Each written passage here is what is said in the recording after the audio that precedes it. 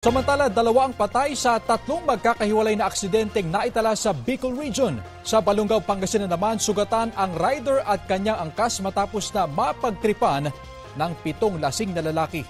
Ang mainit na balita hatid ni Russell Simorio ng GMA Regional TV. Suntok hampas at tadyak ang tinanggap ng isang lalaki sa Balungaw, Pangasinan. Ayon sa pulisya, napagkursunadahan lang ng lasing ang biktima at ang angkas niya sa motorsiklo. Nagkataon na naputol po itong kadena ng kanilang motor. So, hindi po sila maka-accelerate. Kuminto po sila. Nagkataon na doon po sa nahintuan nila, may tatlong mga lalaking lasing po. Naman sila ng suntukan. Kwento ng kinakasama ng rider, bibili lang sana ang biktima ng diaper ng kanilang anak. Nung napahinto yung motor doon, parang pinagtitripan na po sila. Akala hindi po nila pinansin. Binilid niya po yung motor. Tapos sinanap nila yung kadena. Pero sumisigawan na daw po sila. Nasa ligtas ng kalagayan ng biktima na dinala sa ospital. Minor injuries naman ang tinamo ng kanyang angkas. Ayon sa pulisya, tukoy ng pagkakakilala ng pitong suspect sa pambubugbog. Disidido ang pamilya ng biktima na magsampa ng reklamo. Pwede po itong serious physical injury. Depende po doon sa resulta ng medical, medical legal ng ating biktima sapagkat siya po ay nasa hospital pa hanggang ngayon.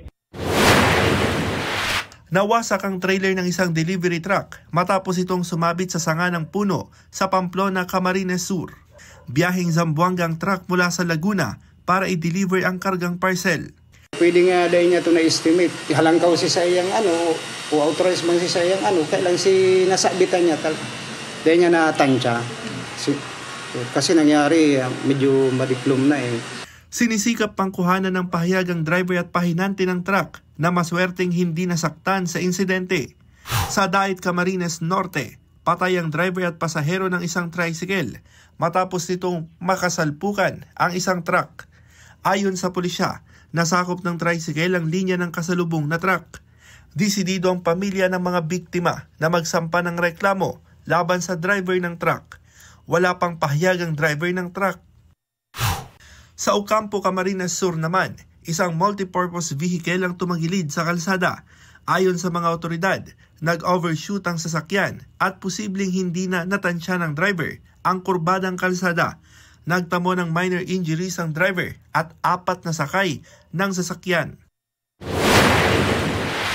Patay ang isang lalaking negosyante matapos barilin habang nagpapahinga sa kanyang pickup truck sa Tanawan, Batangas. Kasalukuyang pinaghahanap ng pulisya ang salarin na nakatakas sakay ng isang motorsiklo. Alitan sa negosyo ang nakikitang motibo ng pulisya sa pamamaril. Depende po sa presyohan ng kalakal. Minsan meron na nakakakuha ng una at meron mga nag-offer ng mas mataas. Pero meron meron rin mga nagagalit. Isa po yun. Ang pangalawa po natin tinitingnan, nagkaroon sila ng pagkakautang. Related din po dun sa kailangan ng buhay. Sinisikap pang makuhanan ng pahayag ang mga kaanak ng biktima tungkol sa insidente. Russell Simorio ng GMA Regional TV nagbabalita para sa GMA Integrated News.